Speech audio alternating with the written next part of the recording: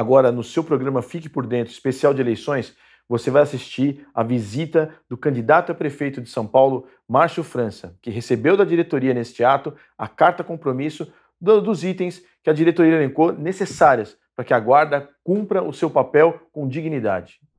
Agora eu sei que você tem uma pauta de reivindicação. Foi o que o senhor falou até agora. Ah, é?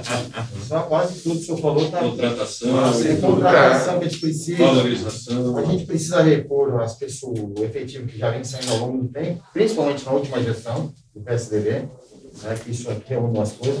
Uma das coisas que nós estamos discutindo também, que eu acho que é de suma importância, a questão orçamentária da nossa secretaria, né, para deixar pontuado, que nós entendemos o que eu quis dizer no vídeo, né? Sim. a secretaria ela é importante para a guarda, né? Porque- até porque a guarda da secretaria é o único órgão de segurança, né? Que faz atividade. E o orçamento dela é muito baixo, não chega a 1% do orçamento da cidade. A região metropolitana, salvo engano, Média 3%. 3% é o orçamento da cidade. O que é? Você consegue investir. Né? E aí esse dinheiro no 0,97 ainda, E essa, Deixa- essa média de 3% é puxada por duas cidades que têm PIB per capita menor que São Paulo. Que é Caieiras e Cotia. Caieiras são 5,32%. Sim. Isso é, e isso é um dos anseios nossos. Né? A gente falou 3%, mas a gente tem que aumentar 5% a gente vira Nova. York, né? Que Se nós tivéssemos um aumento né, da secretaria em questão de contratação, porque praticamente é só questão de salário, praticamente que é, que é o. o, o Mas vocês entenderam que a, na Sim. lógica que eu estou falando, Sim. isso muda completamente. Sim. Vocês vão passar para 15% do orçamento. Como é que vai administrar 40 mil rapazes? Isso aqui depende, é uma, é uma estrutura que tem que ser montada. É, Não é apenas o. Então, assim, vai haver muita mudança. Né? Não, é uma, não é uma mudançazinha. É uma mudança de conceito. Né? Agora, vai ter que manter, claro, um grupo de pessoas para fazer história de questão de repressão, enfim, a, a guarda, Prevenção. é prevenção. É, claro, mas A guarda ela é praticamente inteira preventiva. Preventiva. Né? É historicamente. né? E, e a gente tem, é, no finalzinho, no meio do governo da Marta, né, começou a mediação de conflito, né? Então a gente teve, assim, uma, da, daquele tempo para cá, a formação dos guardas já tem, na sua matriz curricular, a mediação de conflitos. Nós estamos com um problema, aí você vem direto do senhor, é, uma déficit né, salarial, sim, de 2015 para cá, nós tivemos, só para inflação, deu 32% do salário. sim. Nós não tivemos reajuste na gestão do Olha Costa. É, não teve a reposição da inflação. Hoje o guarda municipal ele ganha o piso salarial nosso, 2.180. É um dos menores salários de guarda municipal do estado de São Paulo. É, e, É a menor. E só lembrando, só, né? só esse aqui, peraí. E, e isso a gente come- começa corrigindo como? Fazendo reposição da inflação. É, e aí, a desculpa do nosso prefeito, ah, que não dá, que não pode, nós temos uma lei ruim que atrela o aumento do servidor público ao famigerado 0,01%. Isso não aumenta, isso é uma piada, né? É, dá 0,01% do servidor público. mais de 5 anos, que é 0,01. Já, já é um absurdo. Então, isso é um anseio nosso que a gente tem, né? Que é necessário, além da contratação, essa reposição. É, só a questão do piso, só para o senhor ter ideia, é assim, em 2018 nós votamos esse piso lá na Câmara. Tá bom? Só que o padrão do guarda, o salário padrão que o cara ele vai iniciar, ele vai ganhar em torno de mil 300 e 300 e pouco. Aí, esse piso, o que, que acontece? Ele recebe um abono para chegar nesse piso. Automaticamente, eu vou passar 10 anos, então nós igualamos três categorias, eu vou passar 10 anos recebendo 2.180, porque eu subi um pouquinho, passei um tempo, ganhei um pouquinho, 50, não sei o quê. Eu tive um aumento, fui para 1.900. Na prática, seguinte, evolui na o carreira. guarda início de carreira. Ele tá, um mês ele está na rua, ele toma um tiro, fica paraplégico, é aposentado, que ele vai receber de aposentadoria 1.380 reais mais um. E ele evolui na carreira. é Nós precisamos aumentar o padrão. Para o padrão chegar ao, ao, ao. Ao, piso, 280. Nós temos uma, uma, um complemento, que é o BIM oficial, comumente o pessoal fala, que é a DEAC, né? É Uma um DEAC DGEM de vocês. Isso, Isso, é, é, é, é, porque começou a atividade delegada, né? Por até motivo de uma manifestação grande nossa em 2009, e criaram a operação delegada, pagando para o PMI trabalhar na prefeitura, e o guarda municipal, o GCM, não tinha. Teve uma mobilização e foi criada a DEAC. E a DEAC também está congelada. E ela está vinculada ao padrão de vencimento, né? O padrão de vencimento aumenta só- a DEAC. Hoje o guarda para trabalhar 10 dias, é, a folga dele, trabalha as 12 normal, outro dia que seria o descanso, que precisa, que é um trabalho, se colocou o uniforme, já está estressado, né?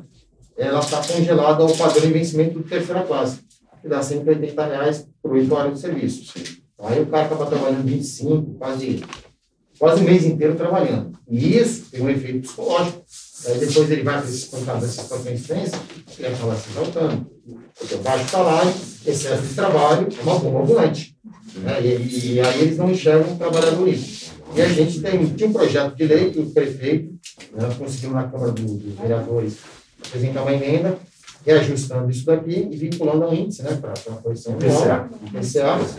E, só que, infelizmente, o prefeito Bruno vetou. Nem o PCA. E é um aumento. Essa é uma das demandas. Isso não é remuneração. Não, isso, isso é, aqui, isso é mínimo constitucional. Aí eu falei para o senhor, da secretaria. Qual o nosso problema na secretaria? Você falou ali, e aí a gente entendeu o falar do senhor, porque o comando da guarda tem que falar com o prefeito. A gente sabe disso. Qual o nosso problema atual? Vou ser bem sincero. No meio do caminho, oficiais da Polícia Militar, não vamos generalizar, mas beleza. Mas a atual gestão, os, os coronéis da Polícia Militar criaram barreira para o diálogo com povos.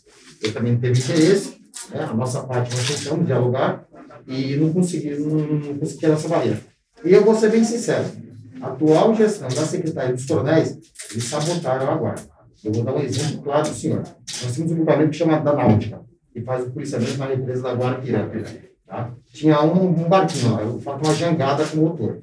Que os guardas estavam funcionando por causa. Além de fazer a fiscalização da parte ambiental, tem convênio com a Marinha para a fiscalização. É, essa jangada, ela estava funcionando porque o guarda e a gente chama de PSA, aqueles comerciantes da região, e fazia a manutenção. Não tem mais esse barco. Acabou, vai ter que fazer a análise esse do serviço. Contrapartida, comprou para o Corpo de Bombeiros barcos novos.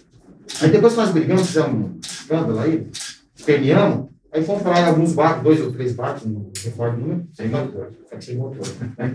O remo, o, vai remar. Isso é sabotagem com a Guarda Civil Metropolitana. Eu sei que aqui todos vocês estão voltados às regras de hoje. Então, tudo que está aqui está no orçamento de hoje, essa coisa do um mil a mais, tem, tem 1% a mais tal. O que eu estou dizendo é que haverá uma mudança completa na lógica. Porque na medida que vocês serão a segunda maior, maior estrutura do governo, é claro que vai ter que ter o peso da segunda maior estrutura e com todas as situações que isso gera. Né? Isso vai ter, é um desafio, porque realmente isso é uma grande aposta da gente. Né? É, eu já vi acontecer, sei que é possível, mas nunca foi feito em São Paulo, na capital. Né? Então isso é um negócio de grande porte. Significa assim, tem que ter, para ter 40 mil rapazes, por exemplo, de moças, tem que ter é, 500 carros. Não tem é, Se não tiver, não consegue fazer. Está tá embutido naquele orçamento que a gente tá, pensou em fazer o planejamento. Né? Então, eu recebo aqui as, as reivindicações de vocês. Muitas vão ser feitas naturalmente porque já estão nessa, nessa nova lógica, mas eu peço que vocês me ajudem a, claro que não agora, mas depois que a gente correr bem ganhar a eleição, que vocês nos ajudem a convencer as pessoas a darem essa chance, a esta oportunidade. E eu vou usar a mesma expressão que eu usei lá na Polícia Civil. Do jeito que está, tá bom? Aí fala, não, tá ruim. Então deixa eu tentar do meu jeito. Né? Ou tá bom do jeito que está? Porque do jeito que está, vamos ser francos, vai ganhar um, vai ganhar outro, vai ganhar outro. Pode mexer aqui um pouquinho, às vezes o orçamento melhora um pouquinho aqui, piora um pouquinho lá, mas no grosso, a verdade é que está muito longe de qualquer coisa ideal. Se por acaso, depois de um ano, dois, as coisas não andarem, a gente pode voltar atrás, não tem nenhum problema também de você falar erramos, né? Mas hoje eu estou convencido que a atividade principal de vocês vai mudar um foco enorme. E vocês vão mudar de patamar de maneira enorme. Aí tem um, um, outro caso que vocês sabem, que aí já é uma coisa meio também ideológica. Vocês sabem dos meus embates com relação à questão do governador Dória. Né? E vocês sabem da minha relação com Polícia Militar e Polícia Civil. Hoje, 90% dos policiais do Estado nos apoiam. 90%. Para dar barato aí, né? entre civis e militares. Então, tudo que nós fizemos aqui que empurre o governo de São Paulo a ter que pensar duas vezes em relação ao tratamento com eles, é super interessante. Porque além de resolver o de vocês, a gente prensa ele para ele também dar jeito na situação que ele prometeu que ia dar e não deu.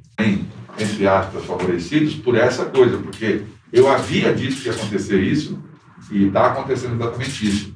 Um desmonte dessas estruturas no Estado também. Então, é isso. Eu tenho plena convicção que a gente vai ter uma, uma excelente relação. Nós vamos usar sempre essa coisa do diálogo. Nem sempre a gente consegue chegar, porque, como eu disse, é, eu também fui servidor público durante muitos anos. Se você puder, você quer sempre um pouco a mais. Enfim, é, faz parte da, da, da, trajetória humana. Mas, na medida, lembrem bem, é, na medida que você se torna imprescindível, aí a tua remuneração fica sendo assim. É, ninguém repara que você ganha bem, se você é imprescindível. Então você precisa ser imprescindível. Nós somos transformados em imprescindíveis. Vocês não podem ser substituídos porque vocês têm função pública, vocês têm autoridade pública.